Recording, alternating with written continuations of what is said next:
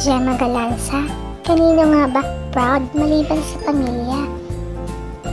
Posted sa Instagram ni Gemma kung gaano siya ka-proud na inilaban ang Pilipinas kasama ang Creamline Co Smashers na team niya.